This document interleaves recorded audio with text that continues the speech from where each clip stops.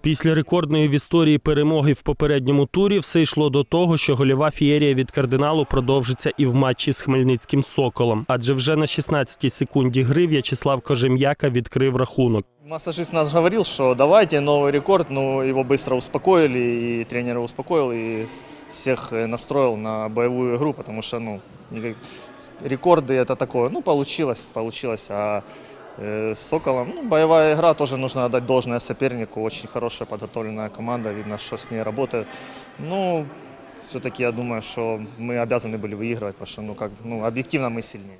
Після голу гра заспокоїлась. Рівняни мали ігрову перевагу, але до справді гольових моментів доходило рідко. Натомість хмельничани дочекалися свого шансу. На 12-й хвилині після ауту м'яч потрапив в ногу тому ж таки Кожем'яці і залетів у ворота Іллі Бакінського. Видно было вроде как 1-0, а качество игры ну, не очень было хорошее. Поэтому неудивительно то, что мы пропустили мяч. Но потом именно концентрация футболистов и их мастерство, их наигранная комбинация, то есть произвели, ну, привели к тому, что мы победили сегодня. На перерву лідерами в рахунку пішли господарі. При розіграші кутового найспритнішим виявився Олександр Бондар. Ще один кутовий на 27-й хвилині результативно завершив Роман Горпинич.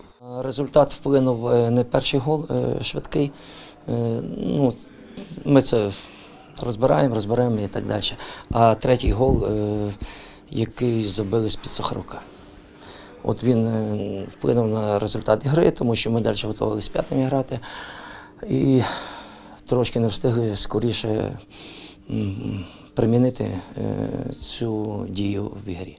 Всі потуги Сокола в атаці результату не принесли. Підсумковий рахунок матчу 3-1. Для футзального клубу Кардинал Рівне це третя поспіль перемога в чемпіонаті Екстраліги. З десятьма набраними очками у восьми матчах рівняни посідають п'яту сходинку турнірної таблиці. Найближчої суботи кардинал завершить перше коло чемпіонату матчем у Харкові проти Моноліта, який йде на шостому місці. Найближчу домашню гру команда проведе 31 жовтня і прийматиме ураган. Олександр Мрозович, телеканал ITV.